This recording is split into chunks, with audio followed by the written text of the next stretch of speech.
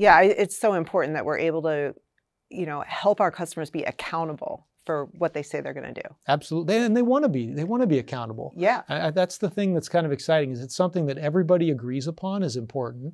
Everybody agrees it's good to do. Mhm. It's mm-hmm. just a matter of finding the right solutions for the high priority problems, and then finding value points that that customers can get on board with.